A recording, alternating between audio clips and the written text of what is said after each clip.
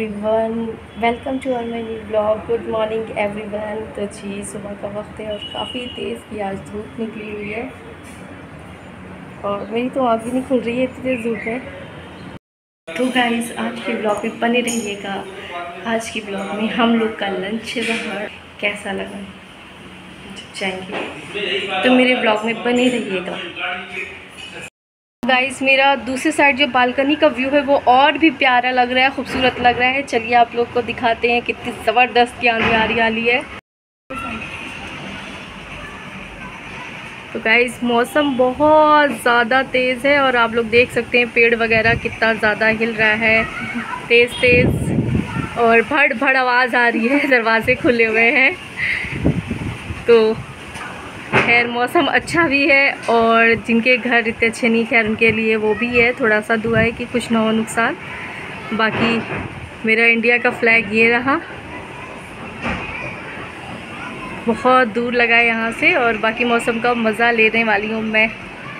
तो guys dust बहुत ज़्यादा हो रहा है यहाँ पर। काफ़ी ज़्यादा हो रहा है। मज़ा तो आ रहा है बट डस्ट का बड़ा मज़ा आ रहा है। मुझे मतलब मज़ा क्या कह सकते हैं, बस नहा ले रहे हैं डस्ट से पूरा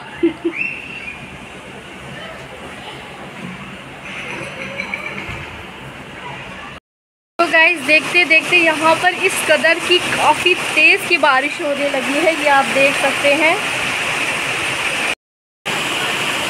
पूरा पानी पानी हो गया है और वो भी काफ़ी तेज़ की बारिश हो रही है।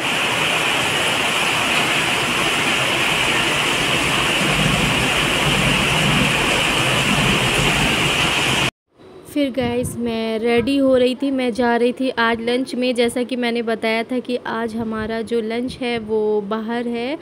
सो गाइस मैं रेडी हो चुकी थी, बस अब निकलने वाली थी तो मैंने कहा, लाओ थोड़ा सा जो भी है मेकअप हल्का फुल्का करके फिर यहाँ से निकलते हैं। तो गाइस बताइएगा आप लोग को मेरा मेकअप कैसा लगा? फिर गाइस हम घर से बाहर निकल गए थे, जहाँ पे हम लोग को लंच के लिए इनवाइट किया गया था।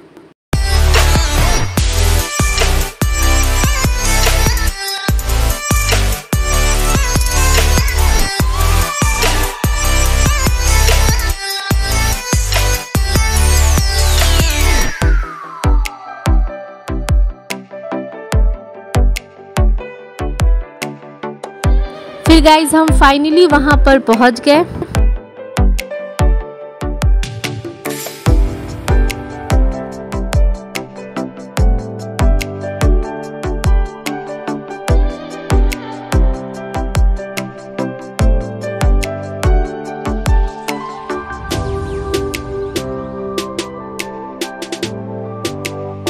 गाइज़ जो मेरे पीछे बैठे हुए हैं, इन्हीं ने आज का जितना भी लंच था, सब इन्हीं ने बनाया था।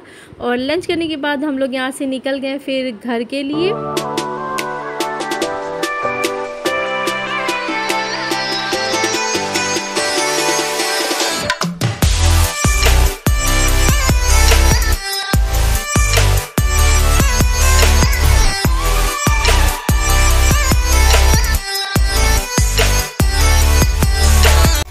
फिर गाइस रास्ते में ना इतनी ज़्यादा कीचड़ थी, वो आप लोग देख सकते हैं कि हाँ क्या ख़राब आलम हो रहा था यहाँ पे। फिर गाइस मैं आगे जाकर नारियल पानी ले रही थी, जो कि मुझे काफ़ी दिनों से बहुत ज़्यादा दिल करता नारियल पानी पीने का, और मेरा फेवरेट है ये। तो फिर मैं इसको ली थी पीने के लिए, और ये मलाई वाला नारियल पानी था, और बाकी का जो नारियल था वो हम पैक करा रहे थे घर ले जाने के लिए। फिर गाइस ये देखिए ना, कितनी मुश्किल से इस तरीके से निकालते हैं ये निकालने वाले, जो भी करते हैं, काफ़ी मेहनत करते हैं और हाँ गाइस जिसने भी अब तक के मेरे चैनल को सब्सक्राइब नहीं किया है, अगर आप लोग को मेरा ब्लॉग अच्छा लग रहा है तो प्लीज़ जल्दी से आके मेरा चैनल सब्सक्राइब करें लाइक करें बेल आइकन ऑन करें और अच्छे अच्छे से कमेंट्स करें, मेरी वीडियोज़ को शेयर करें। तो फिर बढ़ते हैं आगे की तरफ़। फिर गाइज़ मैं हम यहाँ से निकल रहे थे घर जाने के लिए। और यहाँ का जो मौसम था वो काफ़ी अच्छा हो रहा था। आप लोग देख सकते हैं कि कितना अच्छा मौसम हो रहा है बाहर का। मैं फाइनली घर पहुँच चुकी हूँ और आज का मेरा ये जो ड्रेस था वो कुछ इस तरह से था जो कि बहुत ही खूबसूरत है, बहुत प्यारा है, चिकनकारी है बट ये मैंने ली है यहाँ डेली से ही कुर्ती। और बहुत अच्छे रेट में मिली, मुझे बहुत अच्छी लगी। आप लोगों को कैसी लगी ये ज़रूर बताइएगा और हम घर पहुँच चुके हैं। मेरी लिपस्टिक भी छूट चुकी है, जाके बुरा भी रिमूव करना है मेकअप बाकी आप देख लीजिए, धूप इतनी तेज़ है और इतनी तेज़ बारिश होने के बाद इतनी तेज़ धूप निकलेगी। इसका तो बिल्कुल भी नहीं पता था कि ऐसा हो सकता है बट ऐसा हो गया है। सो so गाइज़ अब जा रही मैं मेकअप अच्छी तरीके से रिमूव कर लूँ। कुछ ज़्यादा ही अच्छा नहीं लग रहा है मुझे।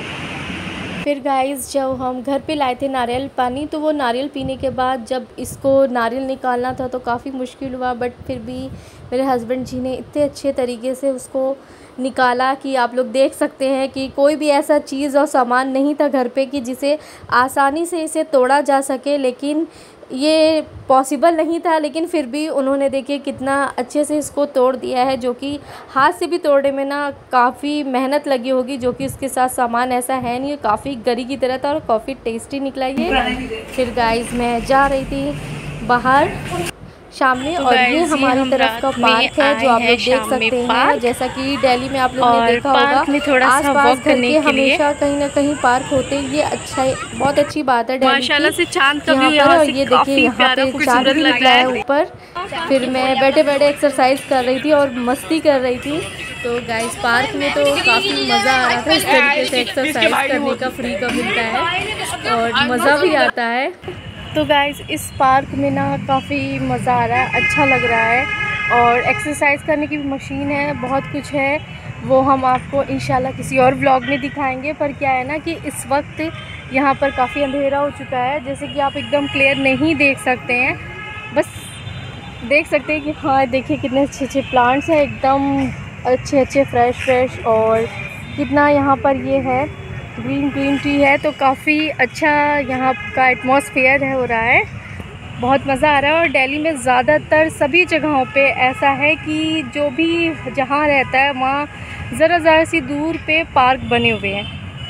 तो मैं आपको आज तो इतना नहीं दिखा पाऊँगी बट हाँ दिन में कभी आऊँगी तो फिर मैं आपको ज़रूर दिखाऊँगी।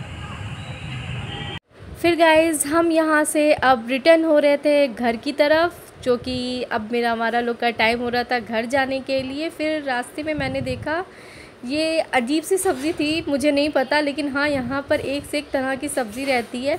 अगर इन सब्ज़ियों में से आपको किसी का नाम याद होगा तो प्लीज़ बताइएगा, और साथ ही ये मेरा देख रहे हैं डिनर भी रेडी हो रहा था, जो कि काफ़ी अच्छी खुशबू आ रही थी। इसमें बहुत अच्छी लग रही थी खुशबू।